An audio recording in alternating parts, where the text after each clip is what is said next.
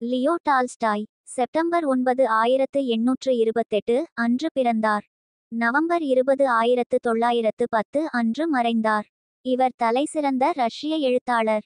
காவிய நாவல்களால் மிகவும் பிரபலமானவர். ஒரு பிரபுத்துவ ரஷ்ய குடும்பத்தில் பிறந்த டால்ஸ்டாய் தார்மீக மற்றும் ஆன்மீக படைப்புகளுக்கு மாறுவதற்கு முன்பு யதார்த்தவாத புனைகதை மற்றும் சுயசரிதை நாவல்களை எழுதினார். புள்ளி இரண்டு ஒன்பது அக்டோபர் இரண்டாயிரத்து பத்தொன்பது.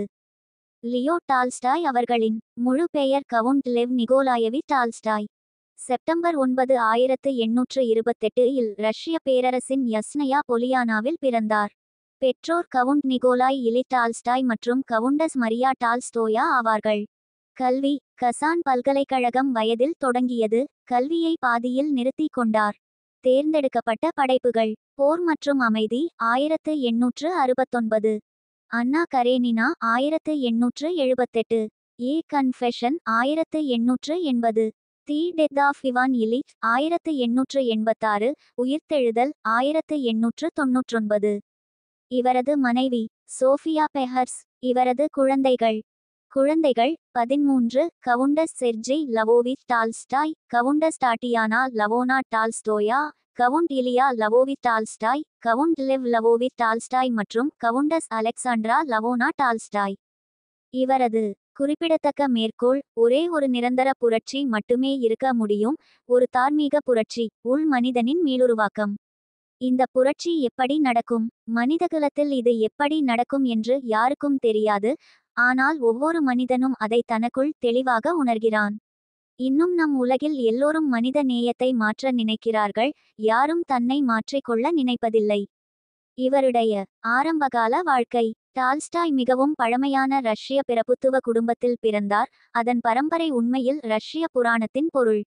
குடும்ப வரலாற்றின்படி மத்தியதரை கடல் பகுதியை விட்டு வெளியேறி உக்ரைனில் உள்ள செர்னிகோவ் நகருக்கு ஆயிரத்து முன்னூற்று ஐம்பத்து மூன்றாம் ஆண்டில் தனது இரண்டு மகன்கள் மற்றும் சுமார் மூவாயிரம் பேர் கொண்ட பரிவாரங்களுடன் வந்த இந்திரிஸ் என்ற பழம்பெரும் பிரபுவிடம் அவர்கள் தங்கள் குடும்ப மரத்தை கண்டுபிடித்தனர்.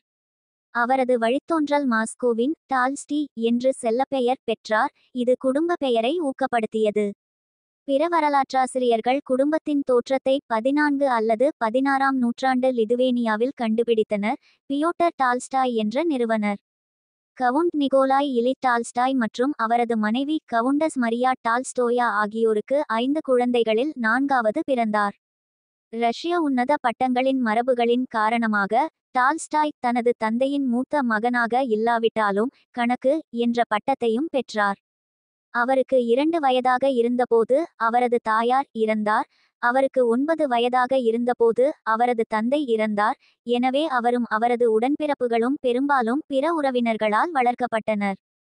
ஆயிரத்து எண்ணூற்று நாற்பத்து நான்கில் பதினாறு வயதில் அவர் கசான் பல்கலைக்கழகத்தில் சட்டம் மற்றும் மொழிகளை படிக்கத் தொடங்கினார். ஆனால் வெளிப்படையாக மிகவும் ஏழ்மையான மாணவராக இருந்தார். அதனால் கல்வியை தொடர முடியாத நிலையில் தள்ளப்பட்டார். டால்ஸ்டாய் தனது முப்பது வயது வரை திருமணம் செய்து கொள்ளவில்லை. அவரது சகோதரர்களில் ஒருவரின் மரணம் அவரை கடுமையாக தாக்கியது. செப்டம்பர் இருபத்து மூன்று ஆயிரத்து எண்ணூற்று அறுபத்திரண்டில் அவர் சோஃபியா ஆண்ட்ரீவ்னா பெஹ்ஸை சோனியா என்று அழைக்கப்படுகிறார்.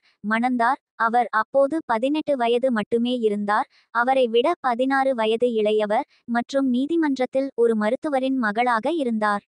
ஆயிரத்து எண்ணூற்று அறுபத்து மூன்று மற்றும் ஆயிரத்து எண்ணூற்று எண்பத்தெட்டு கு இடையில் தம்பதியருக்கு பதிமூன்று குழந்தைகள் இருந்தனர். ஆரம்ப நாட்களில் மகிழ்ச்சியாகவும் உணர்ச்சிகரமாகவும் இருந்தது. காலப்போக்கில் வாழ்க்கையில் இருவருக்கும் இடையே விரிசல் ஏற்பட்டது. பயணங்கள் மற்றும் இராணுவ அனுபவம். கலைந்த பிறப்புகளில் இருந்து சமூக கிளர்ச்சியூட்டும் எழுத்தாளராக டால்ஸ்டாயின் பயணம் அவரது இளமை பருவத்தில் ஏற்பட்ட சில அனுபவங்களால் பெரிதும் வடிவமைக்கப்பட்டது. அதாவது அவரது இராணுவ சேவை மற்றும் ஐரோப்பாவில் அவரது பயணங்கள். ஆயிரத்து எண்ணூற்று ஐம்பத்தொன்றாம் ஆண்டில் சூதாட்டத்தில் இருந்து கணிசமான கடன்களை அடைந்த பிறகு அவர் தனது சகோதரருடன் இராணுவத்தில் சேர சென்றார். கிரிமியன் போரின் போது ஆயிரத்து எண்ணூற்று ஐம்பத்து மூன்று முதல் ஆயிரத்து எண்ணூற்று ஐம்பத்தாறு வரை டால்ஸ்டாய் ஒரு பீரங்கி அதிகாரியாக இருந்தார் மற்றும் ஆயிரத்து எண்ணூற்று ஐம்பத்து நான்கு மற்றும் ஆயிரத்து எண்ணூற்று ஐம்பத்தைந்து கு இடையில் நகரத்தின் புகழ்பெற்ற பதினொன்று மாத முற்றுகையின் போது செவாஸ்டோபோலில் பணியாற்றினார். அவரது துணிச்சலுக்காக அவர் பாராட்டப்பட்டு லெப்டினண்டாக பதவி உயர்வு பெற்றாலும் டால்ஸ்டாய் அவரது இராணுவ சேவையை விரும்பவில்லை. கொடூரமான வன்முறை மற்றும் போரில் அதிக எண்ணிக்கையிலான இறப்புகள் அவரை திகிலடையச் செய்தன மேலும் அவர் போர் முடிந்தவுடன் கூடிய விரைவில் இராணுவத்தை விட்டு வெளியேறினார். அவரது சில தோழர்களுடன் சேர்ந்து அவர் ஐரோப்பாவின் சுற்றுப்பயணங்களை தொடங்கினார். ஒன்று ஆயிரத்து எண்ணூற்று ஐம்பத்தேழு இல் மற்றும் ஒன்று ஆயிரத்து எண்ணூற்று அறுபது முதல் ஆயிரத்து எண்ணூற்று அறுபத்தொன்று வரை. அவரது ஆயிரத்து எண்ணூற்று ஐம்பத்தேழு சுற்றுப்பயணத்தின் போது டால்ஸ்டாய் பாரிஸில் பொது மரண தண்டனையை கண்டார். அந்த அனுபவத்தின் அதிர்ச்சிகரமான நினைவு அவருக்குள் ஏதோ ஒன்றை நிரந்தரமாக மாற்றியது. மேலும் அவர் பொதுவாக அரசாங்கத்தின் மீது ஆழ்ந்த வெறுப்பையும் அவநம்பிக்கையையும் உருவாக்கினார்.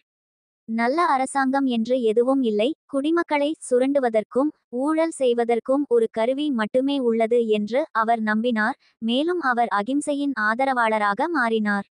உண்மையில் அவர் அகிம்சையின் நடைமுறை மற்றும் தத்துவார்த்த பயன்பாடுகளை பற்றி மகாத்மா காந்தியுடன் தொடர்பு கொண்டார். ஆயிரத்து எண்ணூற்று அறுபது மற்றும் ஆயிரத்து எண்ணூற்று அறுபத்தொன்றாம் ஆண்டுகளில் பாரிசுக்கு பின்னர் வருகை தந்தது. டால்ஸ்டாய்க்கு மேலும் பல விளைவுகளை ஏற்படுத்தியது. இது அவரது மிகவும் பிரபலமான சில படைப்புகளில் பலனளிக்கும். விக்டர் ஹியூகோவின் காவிய நாவலான லெஸ் மிசரபிள்ஸை படித்தவுடன் டால்ஸ்டாய் ஹியூகோவை சந்தித்தார். அவரது போர் மற்றும் அமைதி ஹியூகோவால் பெரிதும் பாதிக்கப்பட்டது குறிப்பாக போர் மற்றும் இராணுவ காட்சிகளை அதன் சிகிச்சையில். இதேபோல் நாடுகடத்தப்பட்ட அராஜகவாதியான பியேர் ஜோசப் புரோடோம்கோ அவரது வருகை டால்ஸ்டாய்க்கு அவரது நாவலின் தலைப்புக்கான யோசனையை அளித்தது மற்றும் கல்வி பற்றிய அவரது பார்வையை வடிவமைத்தது. ஆயிரத்து எண்ணூற்று அறுபத்திரண்டாம் ஆண்டில் அவர் அந்த இலட்சியங்களை செயல்படுத்தினார். அலெக்சாண்டர் இரண்டு இன் செர்ஃப்களின் விடுதலைக்கு பிறகு ரஷ்ய விவசாய குழந்தைகளுக்காக பதிமூன்று பள்ளிகளை நிறுவினார். ஜனநாயக கல்வியின் இலட்சியங்களின் அடிப்படையில் இயங்கும் முதல் பள்ளிகளில் அவருடைய பள்ளிகள் இருந்தன.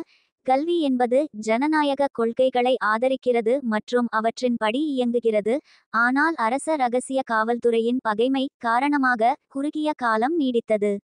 ஆரம்பகால மற்றும் காவிய நாவல்கள் ஆயிரத்து எண்ணூற்று ஐம்பத்திரண்டு முதல் ஆயிரத்து எண்ணூற்று எழுபத்தேழு வரை. குழந்தை பருவம் ஆயிரத்து எண்ணூற்று ஐம்பத்திரண்டு. சிறுவயது ஆயிரத்து எண்ணூற்று ஐம்பத்து நான்கு. இளைஞர் ஆயிரத்து எண்ணூற்று ஐம்பத்தாறு. செவாஸ்டோபோல் ஓவியங்கள் ஆயிரத்து எண்ணூற்று ஐம்பத்தைந்து முதல் ஆயிரத்து எண்ணூற்று ஐம்பத்தாறு வரை. தி கோச்சாக்ஸ் ஆயிரத்து எண்ணூற்று அறுபத்து மூன்று. போர் மற்றும் அமைதி ஆயிரத்து எண்ணூற்று அறுபத்தொன்பது. அண்ணா கரேனினா ஆயிரத்து எண்ணூற்று எழுபத்தேழு. ஆயிரத்து எண்ணூற்று ஐம்பத்திரண்டு மற்றும் ஆயிரத்து எண்ணூற்று ஐம்பத்தாறு கு இடையில் டால்ஸ்டாய் சுயசரிதை நாவல்களில் கவனம் செலுத்தினார் குழந்தை பருவம் சிறுவயது மற்றும் இளமை.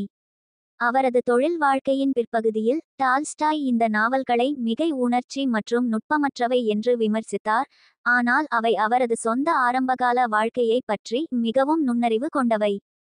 நாவல்கள் நேரடி சுயசரிதைகள் அல்ல மாறாக ஒரு பணக்காரனின் மகன் வளர்ந்து அவனுக்கும் அவனது தந்தைக்குச் சொந்தமான நிலத்தில் வாழும் விவசாயிகளுக்கும் இடையில் ஒரு தீர்க்க முடியாத இடைவெளி இருப்பதை மெதுவாக உணரும் கதையைச் சொல்கிறது. கிரிமிய போரின் போது அவர் இராணுவ அதிகாரியாக இருந்த காலத்தை சித்தரித்த செவாஸ்டோபோல் ஸ்கெட்ஸ் என்ற அரை சுயசரிதை சிறுகதைகளை அவர் எழுதினார். பெரும்பாலும் டால்ஸ்டாய் யதார்த்தவாத பாணியில் எழுதினார். அவர் அறிந்த மற்றும் கவனித்த ரஷ்யர்களின் வாழ்க்கையை துல்லியமாக மற்றும் விவரங்களுடன் தெரிவிக்க முயன்றார். அவரது ஆயிரத்து எண்ணூற்று அறுபத்து மூன்று நாவல் தி கோச்சாக்ஸ் ஒரு ரஷ்ய உயர்குடி ஒரு கோச்சாக் பெண்ணை காதலிக்கும் கதையில் கோச்சாக் மக்களை பற்றிய ஒரு நெருக்கமான பார்வையை வழங்கியது. டால்ஸ்டாயின் மகத்தான படைப்பு ஆயிரத்து எண்ணூற்று அறுபத்தொன்பது இன் வார் அண்ட் பீஸ் ஆகும். இது கிட்டத்தட்ட அறுநூறு கதாபாத்திரங்களை உள்ளடக்கிய ஒரு பெரிய மற்றும் பரந்த கதையாகும். பல வரலாற்று நபர்கள் மற்றும் பல கதாபாத்திரங்கள் டால்ஸ்டாய் அறிந்த உண்மையான மனிதர்களை அடிப்படையாக கொண்டது. காவிய கதையானது வரலாற்றை பற்றிய டால்ஸ்டாயின் கோட்பாடுகளை கையாள்கிறது. பல ஆண்டுகள் நீடித்தது மற்றும் போர்கள் குடும்ப சிக்கல்கள் காதல் சூழ்ச்சிகள் மற்றும் நீதிமன்ற வாழ்க்கை ஆகியவற்றின் மூலம் நகர்கிறது. மேலும் இறுதியில் ஆயிரத்து எண்ணூற்று இருபத்தைந்து டிசம்பிரிஸ்ட் கிளர்ச்சிக்கான காரணங்களை ஆராய்வதாகும். சுவாரஸ்யமாக டால்ஸ்டாய் போர் மற்றும் அமைதியை தனது முதல் உண்மையான நாவலாக கருதவில்லை. அவர் அதை ஒரு உரைநடை காவியமாக கருதினார். உண்மையான நாவல் அல்ல. டால்ஸ்டாய் தனது முதல் உண்மையான நாவல் அண்ணா கரேனினா என்று நம்பினார். இது ஆயிரத்து எண்ணூற்று எழுபத்தேழு இல் வெளியிடப்பட்டது. இந்த நாவல் இரண்டு முக்கிய கதைக்களங்களை பின்தொடர்கிறது. ஒரு மகிழ்ச்சியற்ற திருமணமான உயர்குடி பெண் ஒரு குதிரைப்படை அதிகாரியுடன் அழிந்த விவகாரம் மற்றும் ஒரு செல்வந்த நில உரிமையாளர் மற்றும் தத்துவ விழிப்புணர்வை கொண்டவர்.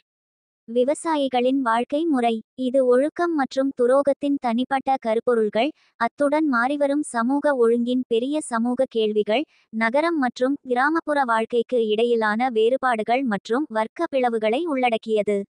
பாணியில் இது யதார்த்தவாதம். தீவிர கிறிஸ்தவம் பற்றிய கருத்துக்கள் ஆயிரத்து எண்ணூற்று எழுபத்தெட்டு முதல் ஆயிரத்து எண்ணூற்று தொண்ணூறு வரை. ஒரு ஒப்புதல் வாக்குமூலம் ஆயிரத்து எண்ணூற்று எழுபத்தொன்பது. தேவாலயம் மற்றும் மாநிலம் ஆயிரத்து எண்ணூற்று எண்பத்திரண்டு. நான் என்ன நம்புகிறேன்? ஆயிரத்து எண்ணூற்று எண்பத்து நான்கு. என்ன செய்ய வேண்டும்? ஆயிரத்து எண்ணூற்று எண்பத்தாறு. இவான் இலிச்சின் மரணம் ஆயிரத்து எண்ணூற்று எண்பத்தாறு. ஆன் லைஃப் ஆயிரத்து எண்ணூற்று எண்பத்தேழு. கடவுள் மற்றும் ஒருவரின் அண்டை வீட்டாரின் அன்பு ஆயிரத்து எண்ணூற்று எண்பத்தொன்பது. தி க்ரூட்சர் சொனாட்டா ஆயிரத்து எண்ணூற்று எண்பத்தொன்பது. அன்னா கரேனினாவுக்கு பிறகு டால்ஸ்டாய் தனது முந்தைய படைப்புகளில் உள்ள தார்மீக மற்றும் மத கருத்துகளின் விதைகளை மேலும் தனது பிற்கால படைப்புகளின் மையமாக உருவாக்கத் தொடங்கினார்.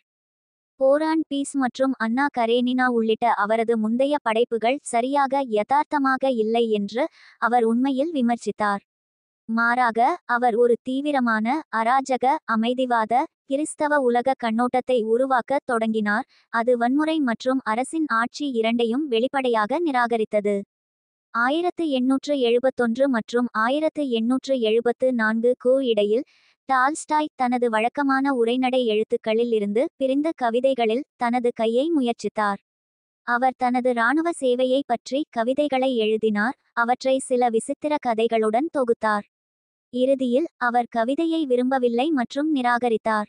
இந்த காலகட்டத்தில் மேலும் இரண்டு புத்தகங்கள் நாவல் the death of Ivan Ilyich ஆயிரத்து எண்ணூற்று எண்பத்தாறு மற்றும் புனைகதை அல்லாத உரை என்ன செய்ய வேண்டும்? ஆயிரத்து எண்ணூற்று எண்பத்தாறு டால்ஸ்டாயின் தீவிரமான மற்றும் மத கருத்துக்களை தொடர்ந்து வளர்த்து ரஷ்ய சமுதாயத்தின் நிலை பற்றிய கடுமையான விமர்சனங்களுடன் அவரது ஒப்புதல் வாக்குமூலம் ஆயிரத்து எண்ணூற்று எண்பது மற்றும் நான் நம்புவது ஆயிரத்து எண்ணூற்று எண்பத்து நான்கு ஆகியவை அவரது கிறிஸ்தவ நம்பிக்கைகள் அமைதிவாதம் மற்றும் முழுமையான அகிம்சை ஆகியவற்றை ஆதரிப்பதாகவும் தன்னார்வ வறுமை மற்றும் துறவரத்தை அவர் தேர்ந்தெடுத்ததாகவும் அறிவித்தது. அரசியல் மற்றும் ஒழுக்க கட்டுரையாளர் ஆயிரத்து எண்ணூற்று தொண்ணூறு முதல் ஆயிரத்து தொள்ளாயிரத்து பத்து வரை. கடவுளின் ராஜ்யம் உங்களுக்குள் உள்ளது. ஆயிரத்து எண்ணூற்று தொன்னூற்று மூன்று. கிறிஸ்தவம் மற்றும் தேசபக்தி ஆயிரத்து எண்ணூற்று தொன்னூற்று நான்கு. தேவாலயத்தின் ஏமாற்று ஆயிரத்து எண்ணூற்று தொன்னூற்றாறு உயிர்த்தெழுதல் ஆயிரத்து எண்ணூற்று தொன்னூற்றொன்பது மதம் என்றால் என்ன? அதன் சாராம்சம் என்ன? ஆயிரத்து தொள்ளாயிரத்து இரண்டு. காதல் சட்டம் மற்றும் வன்முறை சட்டம் ஆயிரத்து தொள்ளாயிரத்து எட்டு. அவரது பிற்காலங்களில் டால்ஸ்டாய் தனது தார்மீக அரசியல் மற்றும் மத நம்பிக்கைகளை பற்றி மட்டுமே எழுதினார். பூமியில் உள்ள எந்த தேவாலயமோ அல்லது அரசாங்கமோ வகுத்துள்ள விதிகளை பின்பற்றுவதை விட கடவுளை நேசித்து அண்டை வீட்டாரை நேசிக்க வேண்டும் என்ற கட்டளையை பின்பற்றுவதன் மூலம் தனிப்பட்ட முழுமைக்காக பாடுபடுவதே சிறந்த வாழ்க்கை என்று அவர் உறுதியான நம்பிக்கையை வளர்த்து கொண்டார். அவரது எண்ணங்கள் இறுதியில் பின்வருவனவற்றை பெற்றன. டால்ஸ்டாயன்கள் அவர்கள் டால்ஸ்டாயின் போதனைகளை வாழவும் பரப்பவும் அர்ப்பணித்த ஒரு கிறிஸ்தவ அராஜக குழுவாக இருந்தனர். ஆயிரத்து தொள்ளாயிரத்து ஒன்று வாக்கில் டால்ஸ்டாயின் தீவிரமான கருத்துக்கள் அவர் ரஷ்ய ஆர்த்தடாக்ஸ் சர்ச்சில் இருந்து வெளியேற்றப்படுவதற்கு வழிவகுத்தது. ஆனால் அவர் கவலைப்படவில்லை. ஆயிரத்து எண்ணூற்று தொன்னூற்றொன்பதாம் ஆண்டில் அவர் மனிதனால் நடத்தப்படும் தேவாலயம் மற்றும் அரசை விமர்சித்து அவர்களின் பாசாங்குத்தனத்தை அம்பலப்படுத்த முயன்ற அவரது இறுதி நாவலான மறுமலர்ச்சியை எழுதினார். அவரது விமர்சனம் அந்த நேரத்தில் சமூகத்தின் பல அடித்தளங்கள் தனியார் சொத்து மற்றும் திருமணம் உட்பட நீட்டிக்கப்பட்டது. அவர் தனது போதனைகளை ரஷ்யா முழுவதும் தொடர்ந்து பரப்ப வேண்டும் என்று நம்பினார். அவரது வாழ்க்கையின் கடைசி இரண்டு தசாப்தங்களாக டால்ஸ்டாய் பெரும்பாலும் கட்டுரை எழுதுவதில் கவனம் செலுத்தினார். அவர் தனது அராஜக நம்பிக்கைகளுக்காக தொடர்ந்து வாதிட்டார். அதே நேரத்தில் பல அராஜகவாதிகளால் ஆதரிக்கப்படும் வன்முறை புரட்சிக்கு எதிராக எச்சரித்தார். அவரது புத்தகங்களில் ஒன்றான கடவுளின் ராஜ்யம் உங்களுக்குள்ளே உள்ளது மகாத்மா காந்தியின் வன்முறையற்ற எதிர்ப்பு கோட்பாட்டின் மீது உருவான தாக்கங்களில் ஒன்றாகும். மேலும் இருவரும் உண்மையில் ஆயிரத்து தொள்ளாயிரத்து ஒன்பது மற்றும் ஆயிரத்து தொள்ளாயிரத்து பத்து கு இடையில் ஒரு வருடத்திற்கு தொடர்பு கொண்டனர். டால்ஸ்டாயும் கணிசமாக ஆதரவாக எழுதினார். ஜார்ஜிசத்தின் பொருளாதார கோட்பாடு தனிநபர்கள் அவர்கள் உற்பத்தி செய்யும் மதிப்பை சொந்தமாக வைத்திருக்க வேண்டும் ஆனால் சமூகம் நிலத்திலிருந்து பெறப்பட்ட மதிப்பில் பங்கு கொள்ள வேண்டும் என்று முன்வைத்தது. இலக்கிய பாணிகள் மற்றும் கருப்பொருள்கள் டால்ஸ்டாய் தனது முந்தைய படைப்புகளில் உலகில் குறிப்பாக பொது மற்றும் தனியார் கோளங்களின் சந்திப்பில் தன்னை சுற்றி பார்த்ததை சித்தரிப்பதில் பெரிதும் அக்கறை கொண்டிருந்தார். உதாரணமாக போர் மற்றும் அமைதி மற்றும் அண்ணா கரேனினா இருவரும் தீவிரமான தத்துவ அடிப்படைகளுடன் காவிய கதைகளை சொன்னார்கள். போரும் அமைதியும் வரலாற்றைச் சொல்வதை விமர்சிப்பதில் குறிப்பிடத்தக்க நேரத்தை செலவிட்டன. இது வரலாற்றை உருவாக்கும் சிறிய நிகழ்வுகள் பெரிய நிகழ்வுகள் மற்றும் பிரபலமான ஹீரோக்கள் அல்ல என்று வாதிட்டனர். அண்ணா கரேனினா இதற்கிடையில் துரோகம் காதல் காமம் மற்றும் பொறாமை போன்ற தனிப்பட்ட கருப்பொருள்களை மையமாக கொண்டுள்ளது. அத்துடன் பிரபுத்துவத்தின் உயர்மட்டத்திலும் விவசாயிகளிடையேயும் ரஷ்ய சமூகத்தின் கட்டமைப்புகளை உன்னிப்பாக கவனிக்கிறது. வாழ்க்கையின் பிற்பகுதியில் டால்ஸ்டாயின் எழுத்துக்கள் வெளிப்படையான மத தார்மீக மற்றும் அரசியலாக மாறியது. அவர் சமாதானம் மற்றும் அராஜகவாதம் பற்றிய அவரது கோட்பாடுகளை பற்றி விரிவாக எழுதினார். இது கிறிஸ்தவத்தின் தனிப்பட்ட விளக்கத்துடன் இணைக்கப்பட்டுள்ளது. டால்ஸ்டாயின் பிற்கால காலங்களிலிருந்து வந்த நூல்கள் அறிவுசார் கருப்பொருள்கள் கொண்ட நாவல்கள் அல்ல ஆனால் நேரடியான கட்டுரைகள் கட்டுரைகள் மற்றும் பிற புனைகதை அல்லாத படைப்புகள். துறவு மற்றும் உள் முழுமையின் வேலை ஆகியவை டால்ஸ்டாய் தனது எழுத்துக்களில் வாதிட்ட விஷயங்களில் ஒன்றாகும். எவ்வாறாயினும் டால்ஸ்டாய் அரசியலில் ஈடுபட்டார் அல்லது குறைந்த பட்சம் அன்றைய முக்கிய பிரச்சினைகள் மற்றும் மோதல்கள் குறித்த தனது கருத்துக்களை பகிரங்கமாக வெளிப்படுத்தினார். அவர் சீனாவில் குத்துச்சண்டை கிளர்ச்சியின் போது குத்துச்சண்டை கிளர்ச்சியாளர்களுக்கு ஆதரவாக எழுதினார் ரஷ்ய அமெரிக்க ஜெர்மன் மற்றும் ஜப்பானிய துருப்புக்களின் வன்முறையை கண்டித்து. அவர் புரட்சியை பற்றி எழுதினார் ஆனால் அது அரசை வன்முறையில் தூக்கி எறிவதை காட்டிலும் தனிப்பட்ட ஆன்மாக்களுக்குள் நடத்தப்பட வேண்டிய உள்நாட்டு போராக கருதினார். அவரது வாழ்நாளில் டால்ஸ்டாய் பல்வேறு பாணிகளில் எழுதினார். அவரது மிகவும் பிரபலமான நாவல்கள் யதார்த்தவாத மற்றும் நவீனத்துவ பாணிகளுக்கு இடையில் எங்காவது பரவலான உரைநடைகளை கொண்டிருந்தன. அத்துடன் அறை சினிமா விரிவான ஆனால் பாரிய விளக்கங்களிலிருந்து கதாபாத்திரங்களின் முன்னோக்குகளின் பிரத்தியேகங்களை தடையின்றி துடைக்கும் ஒரு குறிப்பிட்ட பாணி. பின்னர் அவர் புனைகதைகளிலிருந்து புனைகதை அல்லாதவற்றிற்கு மாறியபோது அவரது மொழி மிகவும் வெளிப்படையான ஒழுக்கமாகவும் தத்துவமாகவும் மாறியது. கடைசி காலம் அவரது வாழ்க்கையின் முடிவில் டால்ஸ்டாய் தனது நம்பிக்கைகள் அவரது குடும்பம் மற்றும் அவரது உடல்நலம் ஆகியவற்றுடன் முறிவு நிலையை அடைந்தார். அவர் தனது மனைவி சோனியாவிலிருந்து பிரிந்து செல்ல முடிவு செய்தார். அவர் பல யோசனைகளை கடுமையாக எதிர்த்தார் மற்றும் அவர் தனது ஆதரவாளர்களுக்கு அவர் மீது செலுத்திய கவனத்தை கண்டு பொறாமைப்பட்டார். குறைந்த அளவு மோதலுடன் தப்பிப்பதற்காக அவர் குளிர்ந்த குளிர்காலத்தில் நடு இரவில் வீட்டை விட்டு வெளியேறி ரகசியமாக நழுவினார். அவரது உடல்நிலை மோசமடைந்து வந்தது மேலும் அவர் தனது பிறப்புத்துவ வாழ்க்கையின் ஆடம்பரங்களை துறந்தார். ஒரு நாள் ரயிலில் பயணம் செய்த பிறகு தெற்கில் எங்கோ தனது இலக்கு அஸ்டபோவோ ரயில் நிலையத்தில் நிமோனியா காரணமாக அவர் சரிந்தார். அவரது தனிப்பட்ட மருத்துவர்களை வரவழைத்த போதிலும் அவர் அன்று நவம்பர் இருபது ஆயிரத்து தொள்ளாயிரத்து பத்து அன்று இறந்தார். அவரது இறுதி ஊர்வலம் தெருக்களில் சென்றபோது போலீஸ் அணுகலை கட்டுப்படுத்த முயன்றது ஆனால் ஆயிரக்கணக்கான விவசாயிகளை தெருக்களில் வரிசையாக நிறுத்துவதை அவர்களால் தடுக்க முடியவில்லை. டால்ஸ்டாய் மீதான பக்தியின் காரணமாக அல்ல ஆனால் இறந்துபோன ஒரு பிரபுவை பற்றிய ஆர்வத்தின் காரணமாக. பாரம்பரிய மரபு. பல வழிகளில் டால்ஸ்டாயின் பாரம்பரியத்தை மிகைப்படுத்த முடியாது. அவரது தார்மீக மற்றும் தத்துவ எழுத்துக்கள் காந்திக்கு உத்வேகம் அளித்தன. அதாவது டால்ஸ்டாயின் தாக்கத்தை சமகால வன்முறையற்ற எதிர்ப்பின் இயக்கங்களில் உணர முடியும். போர் மற்றும் அமைதி என்பது இதுவரை எழுதப்பட்ட சிறந்த நாவல்களின் எண்ணற்ற பட்டியல்களில் பிரதானமாக உள்ளது. மேலும் அது வெளியிடப்பட்டதிலிருந்து இலக்கிய ஸ்தாபனத்தால் மிகவும் பாராட்டப்பட்டது. டால்ஸ்டாயின் தனிப்பட்ட வாழ்க்கை பிறப்புத்துவத்தில் அதன் தோற்றம் மற்றும் அவரது சலுகை பெற்ற இருப்பை அவர் கைவிடுவது வாசகர்களையும் வாழ்க்கை வரலாற்றாசிரியர்களையும் தொடர்ந்து கவர்ந்திழுக்கிறது. மேலும் அந்த நபரும் அவரது படைப்புகளைப் போலவே பிரபலமானவர். அவரது சந்ததியினர் சிலர் இருபதாம் நூற்றாண்டின் முற்பகுதியில் ரஷ்யாவை விட்டு வெளியேறினர். அவர்களில் பலர் இன்றுவரை தங்கள் தேர்ந்தெடுக்கப்பட்ட தொழில்களில் தங்களுக்கு பெயர்களை தொடர்ந்து வருகின்றனர்.